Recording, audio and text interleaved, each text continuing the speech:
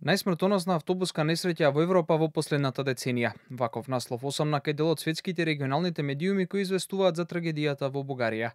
Голем дел од нив пренесуваат детали за несреќата, а посебно внимание посветуваат на тоа дека меѓу загинатите има и деца. А анализираат и дали причината за несреќата е човечка грешка или проблем со самиот автобус. Пораки со сочувство за настраданите пристигнаа од сите соседни држави, вклучително и од челниците на Европската унија.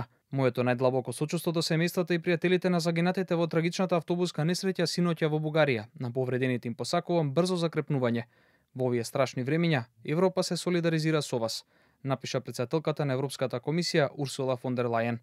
Слични пораки преку социјалните мрежи упати и председателот на Европскиот совет Шарл Мишел и еврокомесарот Оливер Вархеј.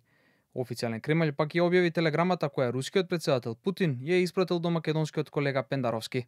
Прифатете го моето најдлабоко сочувство во врска со смртта на граѓаните на вашата земја, вклучително и деца и младинци, предизвикано од сообраќај на несреќа во Бугарија.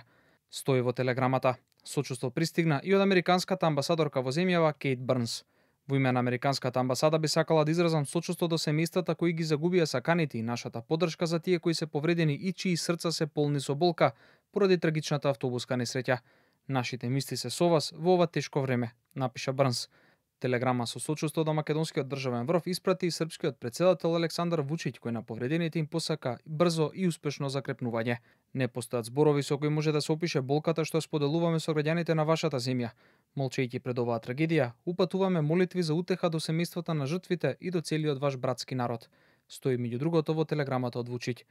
Нема зборови за утеха во оваа трагедија, напиша на социјалните мрежи албанскиот премиер Еди Рама, кој изрази длабоко сочувство за настраданите.